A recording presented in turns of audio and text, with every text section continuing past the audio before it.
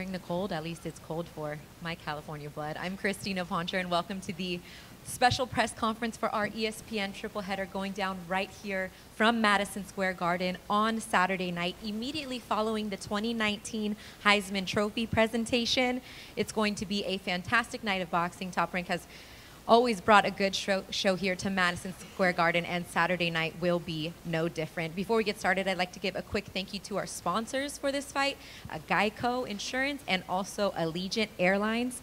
So thank you for being a part of this spectacular promotion. And as you know, you see their faces on the posters behind me. Headlining Saturday night will be pound for pound great Terence Bud Crawford. He will once again be defending his title, his WBO welterweight world title, against mandatory challenger Egis Mean Machine. IBF lightweight world champion Richard Commey is set to defend his title for the second time against Brooklyn native Teofimo the Takeover Lopez, and many feel that that many feel that that will be the fight of the night. I know these guys are looking forward to putting on a show. And then in a 10-round featherweight special attraction, Irish sensation and he's pretty much become a New York fan favorite. Michael Conlan will battle unbeaten Russian Vladimir Nikitin in a rematch of their highly anticipated, or excuse me, highly controversial 2016 Olympic bout, which I'm sure Bob will get to uh, in a little bit. This great triple header, as I mentioned, is broadcasted on ESPN and ESPN Deportes starting at 9 p.m. Eastern Time. Select tickets are available if you can get down here to the Madison Square Garden box office or online or by phone at Ticketmaster. Um, there's some tickets starting as low as under $100 for Saturday night. As always, we have a undercard streaming live for you. It is a stacked undercard on ESPN Plus.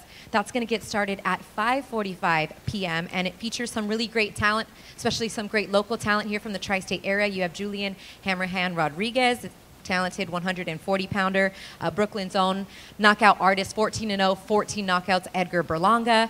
Uh, Josue Vargas is 15 1 from the Bronx. He's on this card as well. And also, George Kambosos Jr. of Sydney, Australia, is taking on former lightweight world champ Mickey Bey. So, Bob, before we get to talking about the triple header, um, as I mentioned, the undercard, I mean, you said this top to bottom is one of the best cards of the year. We've got a lot of young and local talent on the card. People should get here early come Saturday night. Why? Yeah, I mean, you know, boxing should be like other sports.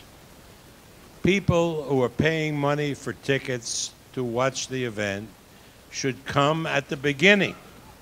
I mean, we have so many good fights that uh, people can watch streaming, but if you're coming to the arena, come early. Come when the doors open so you can watch some of these great, great young men who will be fighting on the undercard. I mean, this is a pitch not for any more money from anybody, not buy tickets if you're not going to buy tickets, but if you bought tickets and you're going to buy tickets, watch the whole show. It's worthwhile. And when you talk about the triple header that we've put in um, on the night of the Heisman, Teofimo's fought on that night before. Um, it just brings a broader audience. And, and for these guys right here, I mean, like you said, there's no pitch to sell it because these are great matched fights, particularly the Commey and Teofimo Lopez fight. What are your thoughts on our triple header? They're all good fights. They're all good fights. I mean, the uh, Teofimo uh, Commey fight, uh, well, that bookmakers have made it a 50 50 fight. So that's obviously of great interest. And the other two fights are not walkovers, they're tough, tough matches. Uh, and uh, I mean, Terence is worth the price of admission by himself. He is pound for pound the best fighter in the world, and everybody will have an opportunity uh, to watch him fighting a very, very tough uh, Lithuanian in Kavaliauskas, who has fought for us for many years and is a tough, tough Eastern European fighter. Uh, Mick Conlan uh, gets his chance for revenge. You all know the story when uh, most people uh, thought that he had won his fight in the Olympics, uh, and uh, uh, Nikitin uh, was given the, the the nod. Now they have a chance in professional boxing for a revenge, for a rematch, and that will be of interest to fans all over the world. Uh, so it's a great, great show. It really is. I'm very proud of it, as is everybody at Top Rank. Uh, and uh, it's great that we're doing an event like this uh, in the Big Apple. Before we get to talking to the fighters, I wanted to say happy belated birthday to you, Bob Arum. And what about Carl? I was going to say, and yes, today's Carl Moretti's birthday, our vice president. So happy birthday, Carl. you do so much for these guys. We appreciate you. You want to sing, Bob? You want to sing happy birthday to Carl? Happy birthday, Carl. I'm not. I'm not a no, singer. no no. Sinatra voice going on. All right, we'll get to talking to the fighters now, and um, let's start with that uh, controversial bout. I mean, both of these guys, Bob, part, probably part of the reason you signed also Nikitin was knowing that we wanted to make this rematch um, in the pros. It comes just three fights in for Vladimir Nikitin, and Egis, thank you for, for translating for Vladimir. Um, how important was it for him to take this fight knowing that although he won the controversial decision in Rio, does he feel like this is a good opportunity for him to kind of silence the doubters and silence the critics and move on from here, cementing his win? Как важно для тебя был этот бой, зная о том, что ты уверен был, что ты выиграл эти два боя у него до этого, и сейчас как бы доказать это все в профессиональном ринге, как это для тебя важно было? Мне никому ничего доказывать не надо, я выиграл те два боя. И сейчас это чисто уже новая страница, и это только бой для моей дальнейшей профессиональной карьеры. I don't have to prove to anybody anything. I won two bouts against him in the amateurs, and right now this is just uh, like uh, another big step for my professional career. Yeah, what does it mean to him in only three professional fights in his fourth now to get to fight on a big stage and a big card like this here at Madison Square Garden? Что для тебя значит э, твой только четвертый профессиональный бой и боксировать на такой большой арене? Уже боксировал и в прошлый раз здесь, в Мэдисон Сквер Гарден. Для меня это как в плане того, то, что это большой бой. Правда, я понимаю, то, что этот бой очень высоко может меня поднять в дальнейшем плане карьеры. А так я настраиваюсь так же, как и на любой следующий бой. Uh, I already fought. My last fight was here at the Madison Square Garden. I've been in the arena, so uh, uh, I just uh, I just uh, stepping in to, you know, to, to, to my next steps into my professional career. So yeah, no difference the magnitude o- of Uh, this uh, card yes, for you know, him. he says I'm preparing You- for every course, it single doesn't matter fight. what. Ex- yeah, doesn't really matter. Lastly, um, what's it going to take for him to win Saturday night? Kind of just put this storyline behind him and move on to the next chapter of his professional career. Как ты представляешь вот этот бой, как, как он, как он состоится, чтобы тебе пройти на следующий уже бой? Как ты пред- составляешь протяжение вот этого боя? Как ты представляешь себе? В принципе, ну, мы готовы на все 10 раундов, но будем уже, нельзя так представить бой. Будем представлять в субботу, как пойдет. Будем А. работать от соперника. Uh, I'm, I'm ready for 10 rounds, and uh, we're just going to see what's going to happen in the ring. We're going to see what, what, we, what we're both going to bring into the ring. All right, we are going to see. That's the opening bout, him against uh, Michael Conlon. And Michael, you know, similar to what uh, your opponent said, you know, he really doesn't feel like he has anything to prove uh, or anything to back up from that Olympic bout. But for you, you have redemption on your shirt all week. It's kind of been the theme for you. Um, not because I, I don't feel like you feel like you have something to prove, but it's more about just, you know, kind of getting that redemption and then moving on. Is that correct? Exactly, that's that's what it is. This is straight business for me. There's no personal or emotional attachment to it. Um, Vladimir, obviously, he beat me in 2013 when I moved up to bantamweight. 2016, he, he got the decision, but and he knows deep down he needs to prove something because his career is always going to be remembered for you know losing to me in the Olympics. So um, he's got to come and prove something Saturday night. I don't believe he will. I've prepared fully and I've, I've been training for 14 or 13 weeks for this camp, so um, I'm ready for anything Saturday night. Is, is a long time, but that's because this fight was originally slated to happen with him back in August uh, in Falls Park, and then he tears his bicep, and it gets moved to now. But look, now you get an opportunity to close out the year, close out this chapter in a place that's become like a second home to you in, in Madison Square Garden. What does it mean for you once again to, to be back here, especially for this chapter? Yeah, it's sorry, it's, it's very fitting for me to be boxing here, uh, having this rematch in, in, in MSG as, you know, this is where I restarted my, my, my boxing career after the Olympics, and this is where I'll close the chapter on the Olympics, and we'll get to put everything in the past, and we'll have to stop talking about them because I, I'm fed up of it. I just want to take care of business and, and move on. But I want to say thanks to Joel and, and Sal and Bill and, and, and Joanne for, you know, always looking after me when I'm here too. So after this, Bobby's like, no more middle fingers. He doesn't want to talk about. he doesn't want to talk about. Maybe and maybe for Colin, that means this next year he moves on to getting an opportunity to become a contender and and possibly fight for a world title and maybe fight again back in in Ireland. Yeah, I mean, that's uh, obviously the, the second dream that uh, Mick had when uh, uh, we signed him is that he would be fighting for a world title uh, and hopefully uh, back in Belfast. And we're going to try to make that happen. We, we can't obviously determine what happens in the ring. That's up to Mick. Uh, but uh, assuming that he does win and uh, we're going to have him come back to New York for the St. Patrick's Day celebration uh, and then uh, uh, on to a world title, uh, hopefully in Belfast. Sounds good, right? It sounds fantastic, but First things I'm, first. I'm fully You have a focused on Saturday night. Yep. Don't, don't, don't. I haven't underestimated uh, 100%, Vladimir yeah. Nikitin at all, so I'm focused there. All right, we're looking forward to it with your Rocky look today. Rocky Four, if you're all wondering, yes, it's Rocky Four. when I'm in Russia, I'm fighting a Nobody of you Russian, so game you on know, that, I have to go for it. I was like, not, not the suit today, huh? Um, now to our uh, first world title fight of the night. It will be the second fight on the ESPN broadcast on Saturday night. 12 rounds lightweight contest, the IBF world title. We'll start with the challenger. Teofimo Lopez, I mean, we've covered your career prospect, contender, now challenger, just 22 years old, 14 and 0, 11 knockouts, and you're days away from your first world title opportunity. I know it's a dream come true for you to first be in this position and fight here at, you know, Madison Square Garden. If you could kind of put into words what these last few days have been like as you kind of have built up the anticipation for Saturday. How's everybody doing?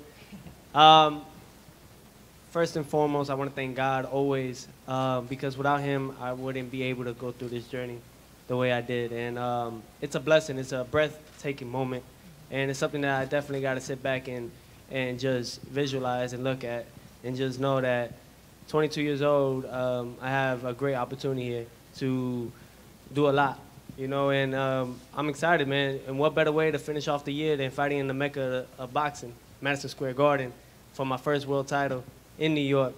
You know, I mean, like, I mean, this is this is a moment right here. It's stuff that dreams are made of, for sure. And Turning my dreams into reality. That's the thing. I can understand that completely. Uh, you've had a lot of supporters Teofimo, but you've had a lot of critics and, and doubters as well.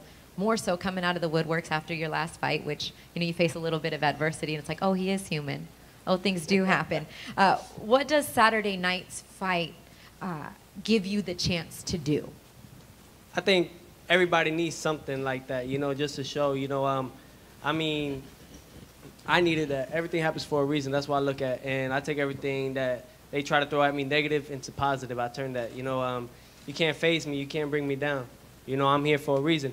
Um, Teofimo is doing what he's doing come Saturday night, like every night. You know, we're going to go out there and take over. I mean, everybody, I, I have vengeance in me. I'm holding all that, holding everything. I want to shut everybody up as the best way I can. And that's just doing what I know, what I can do best. You don't always predict knockouts in your fight, but your father does. He has no problem saying it, and you have 11 of them in your 14 uh, fight career, so he's right most of the time. Uh, he said the same thing is going to happen come Saturday night. And with all due respect to Richard Commey, he says this fight's not going the distance. Uh, with that being said, and, and I know you're constantly defending your father's words, but from your mouth, what is it going to take for you, uh, from you, on Saturday night to hear the words "and new IBF lightweight world champion"? God didn't bring me to this point just for nothing, man. He ain't take me this far for nothing. I ain't come out here just to talk my smack and not back it up. I mean, uh, we're going to do what we have to do. Richard Commey is a two-time world champion for a reason, and we know that it's going to be a great and exciting fight. Everybody's definitely tuning into this one, along with the co- with Mick Conlan and Nikitin, and also the main event. So, I mean, you got triple headers right here, and this is a great and exciting show, great fight, And come Saturday night, I mean, nine weeks in camp for a reason. Yeah. You know, we well prepared for this fight, mentally and physically. And I'm just excited, man. It's a blessing on blessing. Y para todos los hondureños, yo voy a ser el primero para ganar un título mundial. So I think to everybody and all the Latin, all, all the Latin people out there, man, tune in for sure. Teofimo, the takeover, man. I want to get everybody excited, man. Why am I the only one excited? it's cold. Why? I guess he could be a promoter too one day, right? He, I don't need to say anything else about that. Just just tune in. And um, before we get to uh, Richard Commey, I, I'd like to thank uh, DiBella Promotions and Lou DiBella. I think I saw Lou here somewhere. Hey, Lou. um, thank you for, for being a part of this promotion and, and for the champ uh, being being uh, able to give Lopo- Lopez a shot at this. And for you, Richard Commey, I mean, we talked earlier, 2019 has just been a magical year for you. You burst on the scene in February in, in Frisco, Texas with a spectacular knockout. Then you go and defend the title, multiple knockdowns against former world champion Ray Beltran. Could you sum up what this last year has been like for you? Uh, First of all, I just want to thank God for this, uh, for this very moment. I thank God for the life of everyone and for the life of all the media guys. And, you know, it is what it is. God brought us here for a reason. And I thank God 2019 has been a great year. I worked so hard coming from Ghana. You know how it is to get you this stage, man. Just an amazing feeling. And you need to have God, you need to have a, a great spirit just to be where I am today. So I thank God and I thank all of you guys. I don't really know how it is coming from there, but I can only imagine everything that you've gone through to, to get you to this point. How has where you where you've come from? How has the, the team that you have behind you, uh, Uncle Dre over there, um, helped motivate you and get you to be at the best point where you'll need to be against Teofimo Lopez on Saturday? Yeah, most definitely. You know, I, I always, I never underrate any boxer, and you know, I always train hard. You know, I just do my thing. You know, I just train, train, and then listen to them, and you know, just live a simple life. I don't talk too much, and just be me. That's it. You know about the history of boxing. You know about Madison Square Garden, the mecca of boxing. What does it mean for you to get to defend Oh, your title here? I know you have a big smile on your face every time we talk about it. Yeah, words cannot even explain that. You know, how many boxers has come from Ghana to had a chance to fight in there? I mean, co-main event, no. So, no, I thank God for this opportunity, man. And I thank uh, Top Rank and I thank everyone who's helped me to get this, this far, man. God bless us, and I'm ready to, def- I mean, retain my title. There's no way I'm gonna let it go. No way. Matchmakers have it a 50-50 fight. Both guys also know the implications that are on the line if they win. I, I- I think a special guest is going to be in attendance watching these two uh, fight on, on Saturday night. His manager's maybe sitting right here in the front row. Yes, some young man who happens to have three of the lightweight titles and is looking to fight for a fourth will be on hand. Uh, he's coming in on Friday uh, to watch this match. Uh, Vasil Lomachenko uh, will be here, and uh, a lot, a lot at stake uh, in this Lopez fight with Commey. Both great fighters. I didn't know Richard before this year, but he is a tremendous, tremendous fighter, as is Teofimo. Uh, so there'll be one really interested onlooker, uh, and that's Lomachenko, who is coming in with his father, so they'll be here on Friday. Right. A lot on the line for both of these guys, and and maybe none more so on the line than for the two fighters in our main event. I'm going to start now with the mandatory challenger.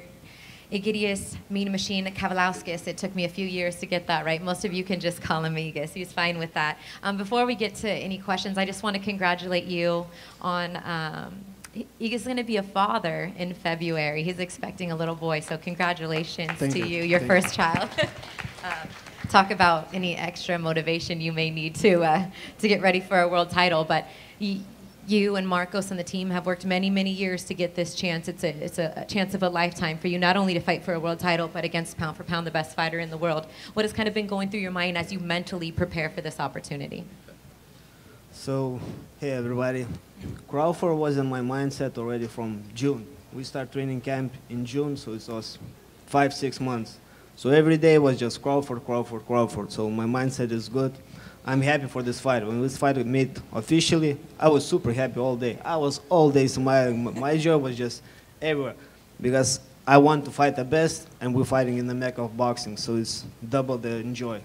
And when you say five, six months in training camp, everyone's like, whoa, whoa, whoa. You know what I mean? But it's not necessarily like you've been sparring for five or six months to get ready. It take a little bit through your, your physical preparation. Yeah, so we, we, we're starting from June, but we're starting light. We we don't push it a lot, but still all the tactics, everything was, was about how Crawford fights, how we, which stances. So, yeah, we, in sparring, we was having lots of guys, southpaws, orthodox, guys who switch stances. And the training camp was in different periods. There was speed, power, sparring, technique, tactic, all was in this five, six months.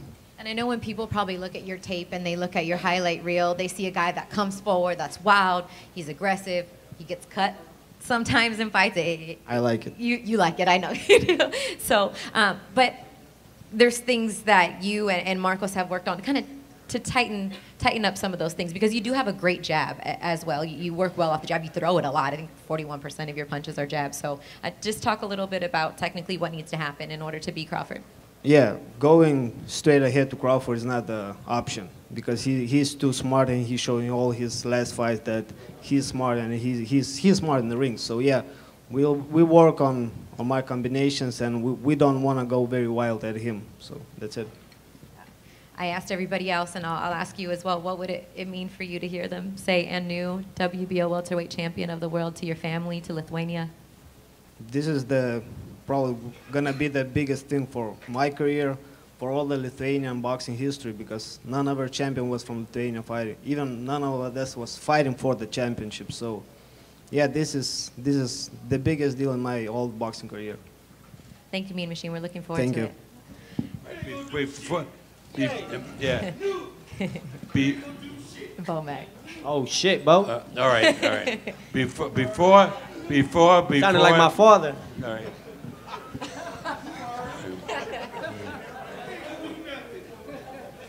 All right.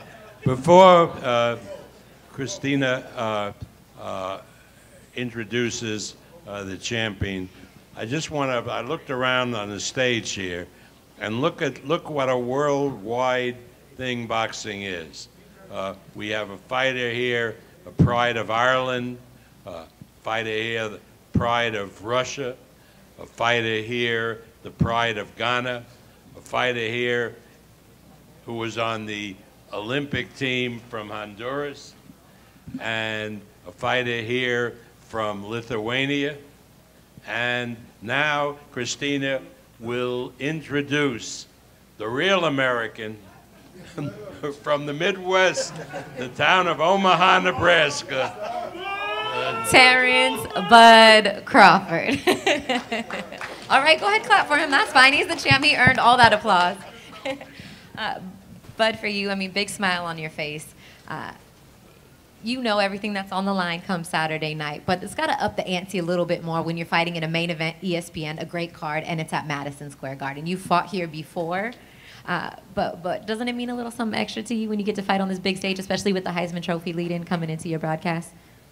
Well, actually, you know, uh, I'm starting to get used to fighting on these big stages. you know, so it's really nothing new to me. Uh, this week is going to be a great, spectacular show from myself. I'm real well prepared for whatever uh, he brings to the table, and I'm pretty sure they know that as well. Uh, you talk about your preparation. Uh, obviously, w- with Bomac, who hasn't been calling fights with me lately because he's been in camp with not only you, but Steven and Jamel and Rob and Mo and, and, and the whole team and, and Red Spikes and, and Saul. How is it just the bond between you guys and working out now with fellow world champs? In, in sparring, you spar them, they spar. How has that helped to build you and prepare you for this moment? Nothing really changed with me and Bomac uh, or the team. Just iron sharp, sharpen iron. You know, uh, we added some more uh, great fighters to the team, but as well as you know, um, we pushing each other each and every day in camp. If I'm tired, Mo would start talking talking to me. Come on, come on, little guy, you tired? And that just motivate each and every one of us to go that extra mile Either we running, sparring, hitting the bag. Everything's a competition when we're in the camp. It seems like a lot of the interviews and lead up to this fight, everybody's asking you about another fight, another fighter, another promoter. But you're here against Egis Kavaliauskas. He's your mandatory, and he's not a pushover, and he's undefeated. He's not someone that people should be looking past. Why should people quit thinking about what's ahead and focus on the task at hand right now? Because at the end of the day, this is this is boxing. Anything can happen. Well, that's what I tell everybody. I'm not focused on no other opponent besides the opponent that's in front of me. My my goal is to make sure I get the victory come this weekend, and that's the only person that I'm focused on right now. Anybody else is just talk. You know, it goes in one ear and out the other. I know he's a great opponent. He's hungry, he's determined, and I'm not taking him lightly by no means. All right, I'm gonna leave you with the last word in terms of, you know, letting everybody know that's watching us on ESPN Plus right now, and everyone else that has their phones out and everything. Why should they either get a ticket because there are still some tickets available and join us Saturday night, or tune in on ESPN? Well, everybody should tune in. It's going to be a great uh, night of boxing. You got a lot of great fights this weekend. You know, starting with the rematch re- of the rematch. You know, this is the third time these guys fighting. You know, so they got a little black bad blood going on. Uh, Commey and Teofimo, that's a firework fight. You know, uh, Commey might be dancing a little bit if he win again. they know, both know uh, how to dance. Teofimo might be Like a hitting dance the- hall. yeah, right. hitting the gainers, flipping all over the place. Right. You know, um, I know that I know that fight is going to be uh, an exciting fight. I know both of them. I watched them. I know it's going to be a spectacular fight, and I'm looking forward to it myself. And you got the main event. You got somebody that's hungry, determined, motivated. Like you said, he's been training for me since June. You know, uh, we've been training as well. We never out of shape. We never out the gym, as you can see. Uh, and I'm looking to go in there and seek and destroy. That's why you should come out, get there early, and support the uh, card this weekend. Anything else you'd like to say, boss, before I Uh, give the know, ticket information? I've, I've had a lot of fighters who end up promoters, right? That's what I'm saying. This Uh, guy down here. Oscar. Floyd, uh, he's the next one. Not yet, though. you don't want you to go Not in there yet. yet. Yeah. All right, you guys. Thank you, everybody, for joining us. The weigh-ins are going to take place on Friday. They're going to be broadcasted live on ESPN. That's going to happen at 4:30 p.m. Eastern, and then on Saturday night, doors will open here at Madison Square Garden at 5:30 p.m. and the first bell will be at 5:45, streaming live on ESPN Plus. Also, Bob, um, we do have a press conference on Thursday for select, or excuse me, on Saturday for select media to announce our um, January, February schedule. So you want to invite all, everyone to come in at 4:30, I believe. Yeah, particularly, particularly there'll be an announcement.